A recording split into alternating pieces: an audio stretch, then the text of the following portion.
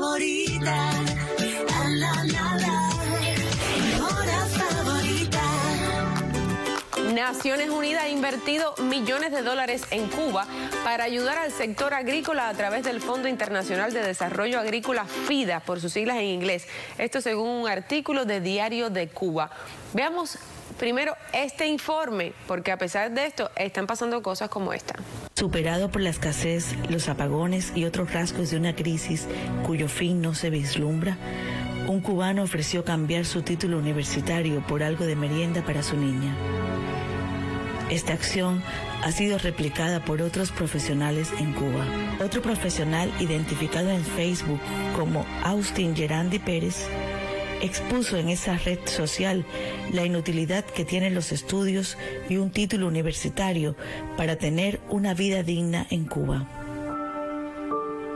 Efectivamente, los jóvenes están cambiando sus títulos universitarios que no les sirven para nada en Cuba por comida, dicen ellos, como una forma de protesta. Por jama, como diría el ilustre Pánfilo.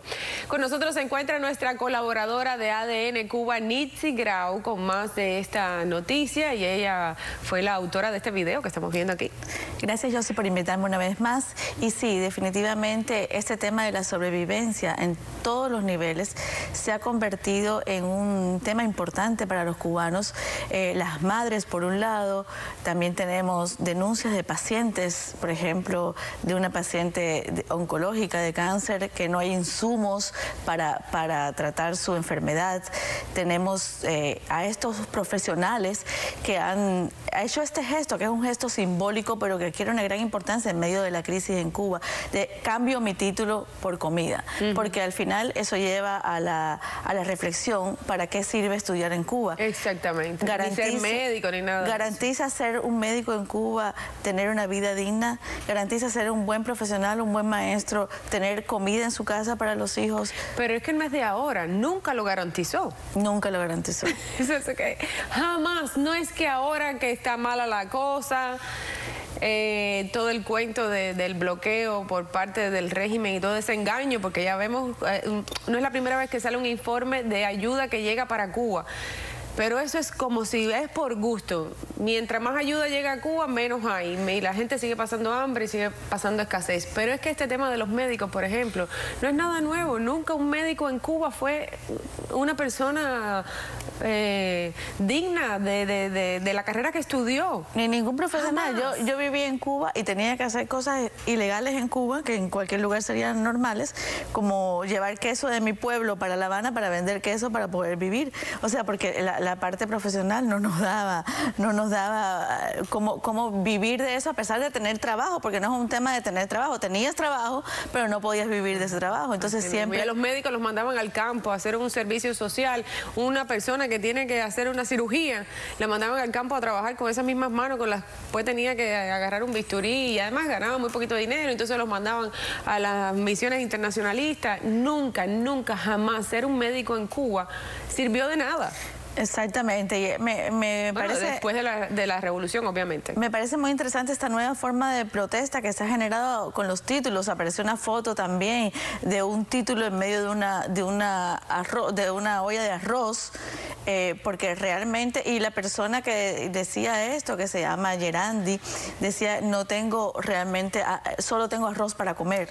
Entonces tengo un título, pero solo tengo arroz. Eso está Entonces, muy bueno. eso- eso- Porque eso lo hizo un médico por prime- primero y después lo, sigue, lo han seguido lo, lo han haciendo. seguido ¿no? haciendo, se ha replicado y, no- y en los comentarios del post muchas personas dicen yo también cambio mi título por leche, yo también cambio mi título porque tampoco tengo comida. Entonces se ha generado como una forma de, de irónica, ¿no? simbólica también de protesta que, que ha sido interesante porque denuncia una, una- un problema del sector profesional en, todo, en todos los niveles, no solamente los médicos, los médicos, los profesores, todo- todos los... Esto es como, yo sé, eso es hasta cuándo, eso es lo de, nun- lo de nunca acabar. Muchos de ustedes cuando nos llaman, cuando nosotros estamos hablando aquí de, de Cuba, hay personas que nos llaman y dicen, ¿hasta cuándo ustedes van a seguir con el tema de Cuba? Lo de Cuba es siempre lo mismo, eso no va a cambiar. Es que no podemos parar.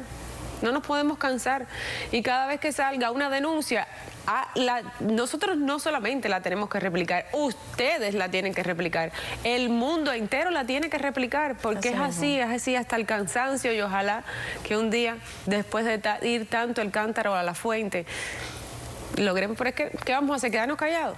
No se puede. Claro, claro. Tenemos que tener a Nietzsche aquí toda la semana, tenemos que hablar de Cuba, tenemos que... Y nosotros porque aquí tenemos un público mayoritariamente cubano, pero yo siempre le pido a ustedes que de mismo de Venezuela, de Nicaragua, de Colombia, que nos manden sus denuncias también, que nos hablen de, su pueblo, de su tierra, que lo compartan con nosotros, que nosotros queremos hacer eso con ustedes también y aquí tienen, las puertas abiertas. Así mismo, el silencio nunca ha llevado a nada, así que hay que hablar y desde, desde cada uno, desde donde está cada uno, a, aportar en algo a la lucha que se está llevando en Cuba. Así mismo es. Además de ADN Cuba, quiero recordarles que existe ADN América, por cierto, ya que hablamos de otros países donde también se hacen muchas investigaciones, historias, donde se ponen noticias de todos nuestros países, de la región.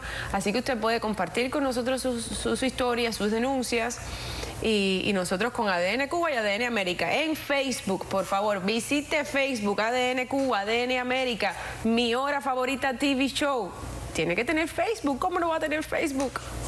¿Verdad, Así es. Sí, muchísima gente me dice, no, no tengo Facebook porque me roba la identidad. Bueno, pero usa Google, usa WhatsApp. Exacto. No, no, no, hay que tener Facebook, así para que esté bien eh, comunicado con nosotros, por favor. Y allí nos deja sus opiniones, sus comentarios y todo lo que quiera compartirnos, que nosotros estamos aquí para eso. Gracias, Nitsi. Gracias, Josie. Gracias por invitarme. Muchísimas gracias. Hablemos ahora del compromiso que tenemos en Cano Health con con su salud y con su bienestar. Y tanto es así que nosotros le premiamos para que usted esté saludable. A ver, escúcheme bien con atención. Esto es importante. Si eres un miembro de Medicare Advantage, vas a recibir una tarjeta de regalo de 10 dólares una vez que te inscribas al programa de Canon Life. ¿Qué es lo que tienes que hacer? Ahí estoy yo visitando uno de los centros wellness de Cano. Porque tiene que involucrarse en actividades como estas, ejercicios, actividades sanas y de bienestar, asistiendo a los wellness centers, aquí lo vemos, participando en las clases como esta de Silver Sneakers, clases de ejercicios, de yoga, todas las actividades que ofrecen los centros, las manualidades, la fiesta, los cumpleaños, los juegos de dominós. Mientras más te involucres, más puntos vas ganando y más categoría. ¿Ven? Porque puedes pasar de ser un miembro silver al comenzar a uno de diamante que le da más puntos y más dinerito. Vive la vida Cano a través del programa Cano Life. Llama al 786-270-0569 para que te inscribas. 786-270-0569. Y vive feliz, vive contento, vive tranquilo, vive seguro y sano, que es lo más importante, con Cano. 786-270-0569. Ya regresamos mi hora favorita.